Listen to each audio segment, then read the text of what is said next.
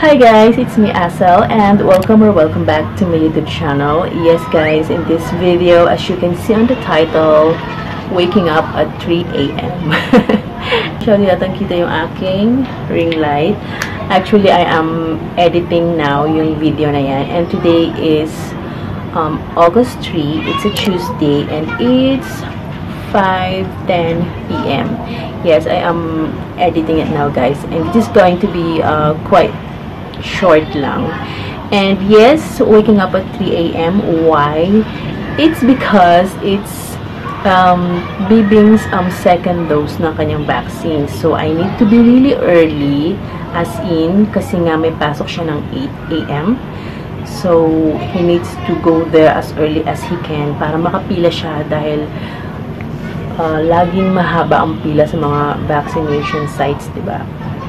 And, uh, syempre, I need to prepare yung kanyang coffee, yung breakfast niya, and then yung baon lang naman niya na rice. Nagbabaon siya ng rice guys sa work.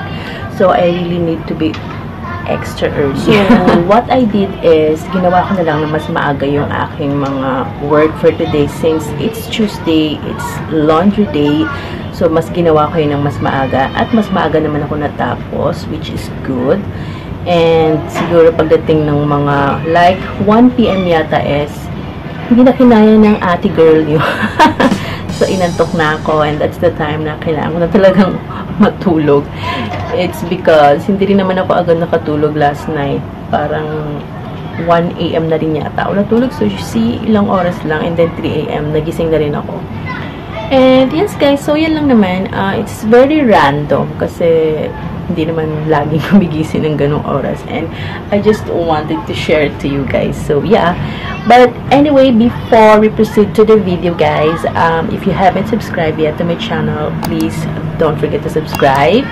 Give me a thumbs up and tap that notification bell so that you'll be notified whenever I'm going to upload a new video. So, let's go.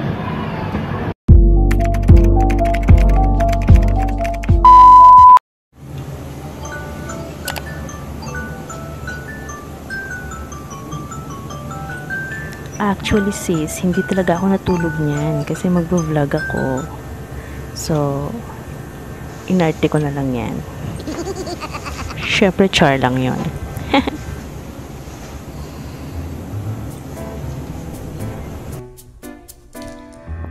Muni-muni mo na sis. Okay, let's go. Kahit ako natakot. Oxycure mat yan. Para sa aking mga pimples.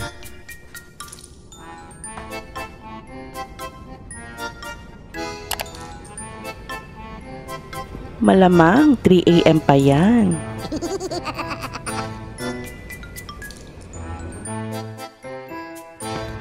And umiinom talaga ako ng water guys on an empty stomach in the morning.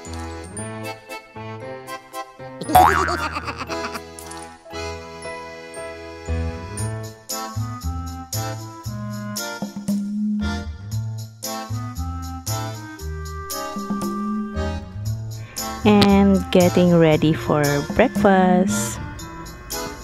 Mga 4 kasi ang gising ni Bibing.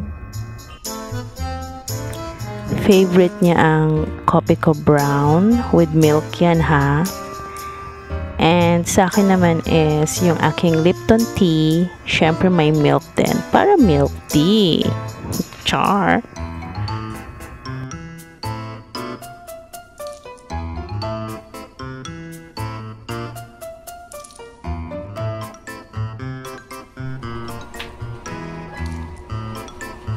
Then, saing na sis. Dami mong alam.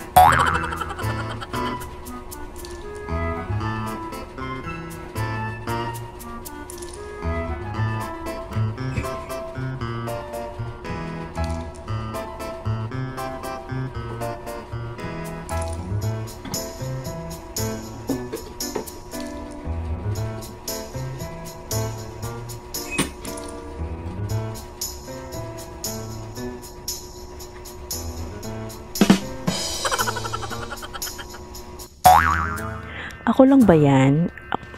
or kami ni mama yan. Gustong gusto namin yung ganyan, yung punong-puno yung tasa namin. Dapat siguro sa amin yung malaking mug na, no?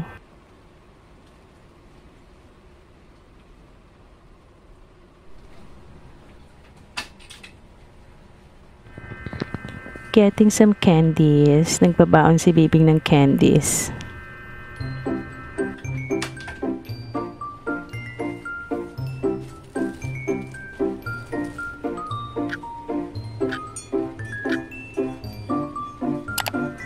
Awkward.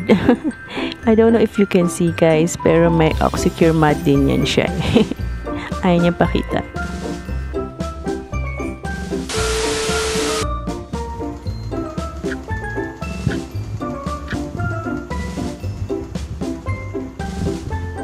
Okay, so dahil umalis na si Bibing, dito na mag-start ang aking mga gawain. Let's go, let's go, let's go.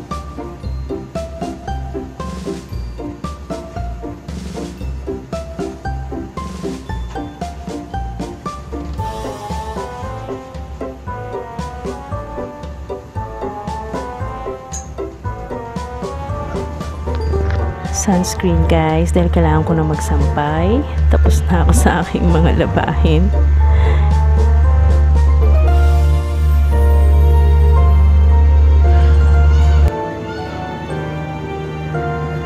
It's windy.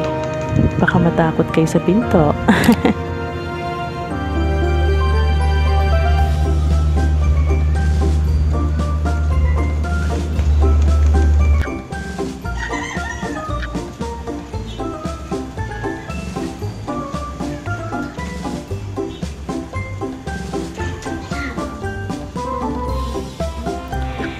And time to feed the guppies and mollies.